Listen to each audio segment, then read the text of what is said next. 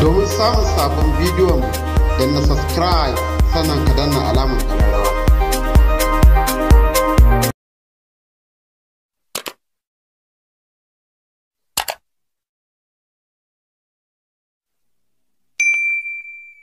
Don samun sabon littattafanmu, don na subscribe sannan ka danna alamar ƙararrawa.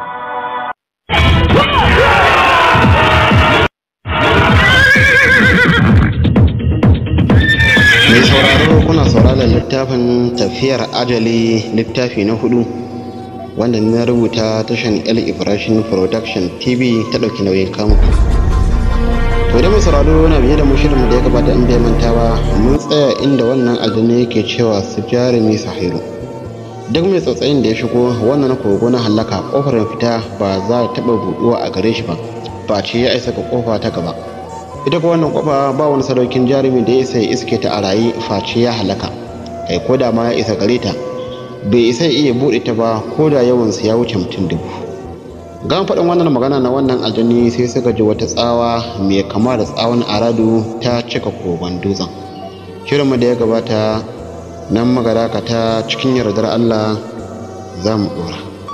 Ba su tsorata da jin wannan tsawa ba suka ci gaba da tafiya suna ƙara shiga cikin kogon. Haka suka yi ta haɗuwa da miyagun halittu daban-daban waɗanda suke rayuwa cikin kogon dutsen. Sun ɗauki kwanakai biyu a wannan kogo na halaka sannan suka iso wannan ƙofa ta ƙarshe wanda wannan shi'umin aljani ya yi musu bayaninta.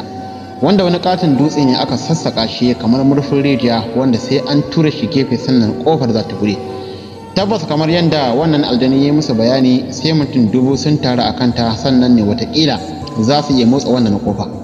Ko daga nan hakan sai suka fara sarin ƙofar da duk wani makami wanda suke tsammanin za ta karye. Amma abin mamaki tsawon lokaci suna haka har sai da zufa ya karye musu suka ga tikis da suka duba sai suka ga ko kwarzanewa ƙofar ba ta yi ba. Kawai sai suka ji karadin wannan shidanin aljani ya kyalkyale da dariya mai kamar da tsawon walkiya ba tsammani sai ka wannan aljani ya sake bayyana a gare su. Wannan karan kirar surar jikinsa ya nika na baya sau biyu. Ya yi magana a gare su da kakkausar murya da cewar ai dama na gaya muku duk wanda ya shigo wannan waje sakamakon sa mutuwa. Lalle sai na sada roshin ku da azaba mafi daci da wanda rai bai taba jin irinsa ba. Yana faɗin hakan ya danno da gudu zuwa kansu yana fesar da wuta daga bakinsa. Duk abin da wutar ya zuba a kansa nan take yake narkewa ko da ko dutse sam. Nan fa masifaffen yaƙi ya sake kaurewa suka tashi hankalin kogon ƙoƙarin wannan aljani kawai shine ya ga ya kona su da wannan wuta da ke fita daga bakinsa. Amma abinka da shugaban jarumai sai suka riga kaucewa wannan wuta tasa cikin dabarun salon yaƙi irin nasu. Kan ajima wannan kogon dutse ya fara ɗaukar wuta ta ko'ina. Lokacin da aka shafe sa'a biyu da wannan gumurzu suka kana cewar ƙarfin wannan aljani ya ƙaru saɓanin baya. Ko da wannan jarumai biyu suka fahimci haka sai suka ci gaba da abin da suka saba na addu'o'i na neman taimakon Allah. Tsananin zafin addu'ar da suke karantawa ta sa aljannin yin ihu haɗi da kururuwa da zaran ya kusance su. Idan kuwa sun suka kusance shi sai da kamar ana ƙona ruhin jikinsa. Da ya gafa ba mafita sai ya riƙa ɓacewa da kuma bayyana a cikin siffofi daban-daban. Da haka fa ya samu nasarar sa'ar mutum biyu ya musu wani kyakkyawar naushi a gadon baya. Nan take suka bade ƙasa wanwar suna masu aman jini. A daidai sa'inin jarumi sahairu ya aika mai da tsara daidai idan saunan hannunsa na dama. Nan take ya guze masa yatsa daga cikinsa tsananin zafi da raɗin da aljanin ya fi ya sa ya kwarar oban ihu mai tsananin ƙarfi. Ba su ƙyale shi ba suka da mai ta ko ina da ina suka yi ta saransa har ta kai cewa sun ji masa rauni a dukkanin sassan jikinsa. Amma abinka da na ce da taurin rai na wannan aljani ya ƙi yarda ya ke ƙasa.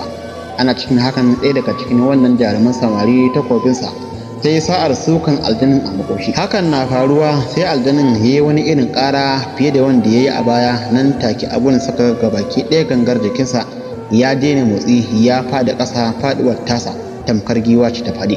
A taƙaice da ko shurawa bai yi ba ya zama gawa. Ransa na gama fita sai kogon dutsen gabaki ɗayansa ya kama girgiza yana rubutuwa cikinsa. Cikin sauri gabaki ɗayansu suka ruga da gudu zuwa bakin ƙofar. Da zuwansa sai babba daga cikin wannan jaruman samari ya toba wata addu'a ta musamman a tafin hannunsa na dama tare da tawassali da maɗaukakin sarki ya shafi ƙofa. Nan take ƙofar ta buɗe kamar an yaye labule. Nan suka fice daga ciki ga baki ɗaya kogon dutsen ya yi wani irin ƙara kamar an dasa nakiya ya tarwatsa nan suka yi godiya ga Allah da ya ba su ikon kubuta daga sharrin shaidanun da suke rayuwa cikin wannan kogon dutse. Nan suka wuta na wani lokaci sannan suka ci gaba da tafiya zuwa inda suka nufa. Wannan shine yadda yake ci gaba da kasancewar da su jarumi sahiru. Al'amarin gimbiya ramzatu bayan ta kira bawa hasidin wanda aka fi kira da suna hamdasu. Shi kansa hamdasu da ya shigo cikin turakar ya yi mamakin ganin sarki a wannan yanayi. Mutum da tun son da wannan ciwo ya kama shi bai gane wanda ke kansa. Abinci da ruwa ma sai da ya dora sarki ya dubo wannan bawa nasa ya ce ya kai amintacce a dukkanin bayina na san za ka yi mamakin ganina a wannan yanayi. To ka saurara in sanar da kai dalilin hakan da kuma dalilin kiranka. Ba tare da ɓata lokaci ba ya sanar da shi duk abin da ya wakana kamar yadda ya sanar da 'yar uwansa ramzatu. Kiranka da na yi ko shine za ka yi wa kanwata jagora zuwa garin baisar domin gudun ceto. Ku tsira daga shirin makiyana ba ma ni kaɗai ba har ma da ku. Domin shi makiyi tsanansa baya tsayuwa a kai kanka har ma sai ya shafi masoyinka duk da na san zai yi ku haɗu da matsaloli na fitintunu shirin hanya. Duk sanda hakan ya kasance a gare ku ku kasance masu haƙuri da tawassali zuwa ga ubangijin wannan aljani. Kamar inda ya ce wanda ya riko da gaskiya da riko da shi zai tsira daga dukkanin musibar ta same shi. Gargaɗi na a gare ku ku riƙa gaskiya da amana. Yana kawo nan azancensa ya kawo kullin zinare ya miƙa musu sannan ya ce ku riƙe wannan kullin zinare zai taimake ku cikin wannan tafiya. Don haka ku tashi ku kama hanya don ba isasshen lokaci. Sarki marhus ya yi musu nuni da wani ɗaki na musamman a cikin turakar da suke ciki. Ɗaki ne wanda babu wanda ya taɓa shigarsa face shi kaɗai. Ya ce ku shiga cikin wannan ɗaki a ƙarshe bangon kudu za ku iske fatar raƙumin shimfiɗa a ƙasa. Ku janye ta gefe za ku ga wani rami ya yi ƙasa ta cikinsa za ku bi zai kai ku har zuwa bayan gari. Da zarar kun fita gefen gari ku yi ta tafiya tsawon rabin yini guda za ku iske wani ƙauye ƙarami. Kai tsaye ku ɗauki cikinsa za ku tar da wata kasuwa a nan za ku fara amfani da wannan kuɗi da na baku ku yi guzuri sannan ku sayi dawakai. Kada ku sake ku kwana a wannan gari ko da ko dare ne da suke ku a cikinsa.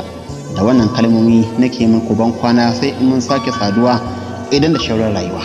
Don faɗin hakan sai duk su biyun suka nufi wannan ɗaki suna wagen sarki suna zub da hawaye.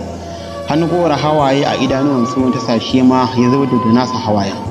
Ba su daina waiwayansa ba har sai da suka shige cikin wannan ɗaki. Da shigar su sai suka ga wannan fata ta raƙumi shimfiɗa a ƙasa a gefen kudu.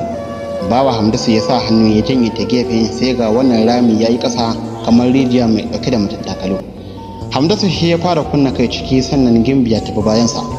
Lokacin da suka isa ƙarshen wannan matattakala sai ga wani rami ya nufi gabas. Kamar yadda sarki ya nufe su suka yi ta bin sa can sai ga sa a ƙarshen gari hanya ta bullar su ta cikin wata rijiya a cikin wani sarkukumin ciyawa. Fitowarsu sai suka ɗauki hanya ba tare da jinkirtawa ba. Kamar yadda sarki ya gaya musu haka ya kasance. Tafiya rabin yini suka yi suka iso wannan ƙauye sai dai kafin su shiga garin sai da suka dafa fuskokin su da korayen kyalle kamar wasu fatakai.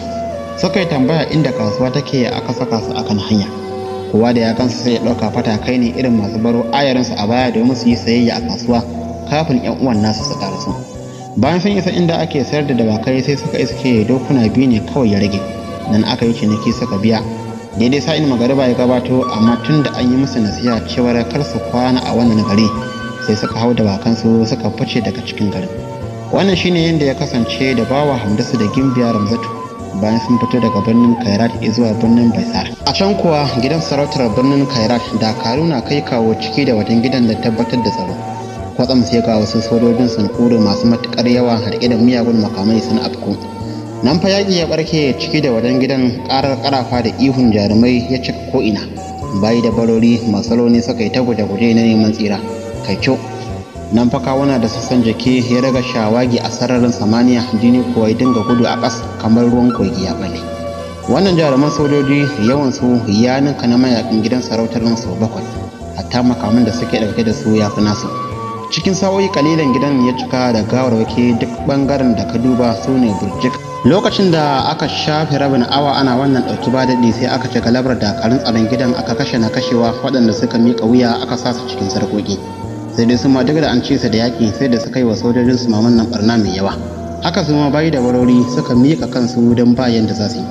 Domin ba wani gudun matsira da za ka je wajen ƙofar gidan sojojin su maman nan sun tsire ta ba mai fita. Bayan sun tattare bayan gidan da mayaƙan waɗanda suka miƙa wuya wuri guda sai ga wazirin marzubu ya shigo cikin gidan tare da sarki da zalu kowannensu cikin shigar yaƙi. Kai tsaye suka kunna kai cikin ƙuryar turakar sarki marcus cike da mummunan nufi a kansu nan take ya hadaman gidan suka fahimci abin da yake faruwa. Lokacin da waziri suka shiga ɗakin da sarki marcus yake sai suka iske shi a kwance kamar gawa suka karasa gefen gadon da yake kai. Su biyun suka kalli juna suka kyalkyale da dariyar mugunta. Sun jima suna yi tamkar tabararin mahaukata lokaci guda suka zara makaman su suka ɗaga suna ya zama na tsinin takobban nasu yana kallon ƙasa. A tare kuma sai suka cika wannan wukaƙe nasu a daidai cikin sarki marcus tsinin na shiga cikinsa sai jini ya kama bulbulowa yana jaka gada. Mamakin da ya ba su shine ba su ya yi ƙara ba haɗe da shurawa nuna alamun fitar rai. Nan take zuciyoyinsu ta ayyana musu cewar anya ko ne? In ko ne to ba shakka ya jima da mutuwa. Waziri ya kai hannunsa ya yaye mayafin da yake rufe da fuskar shi. Sai ko suka ga ne ba wani ba kamar yadda suka yi zato. Idanuwansa sun kafe jikinsa ya san dare hakan ta sa suka ƙara kyalkyalewa da dariyar mugunta domin burinsu ya cika. Kimanin shekaru 37 baya wazirin marzubu da sarki da razali sun kasance abokanan juna na ƙur da ƙur. Wato dai tun yarinta wannan abota ta su ta kulle a tsakaninsu. Mai sauraro babi na biyu kenan cikin littafin tafiyar ajali littafi na huɗu wanda ni na rubuta tashan l ibrahim production tv ta ɗauki nauyin kamuku don ba da shawarwari ko tambayoyi za ku iya tuntuɓar mu ta wannan lamba 08106050146 daga naku L Ibrahim Production TV. Don samun sabon bidiyon don na subscribe sannan ka danna alamar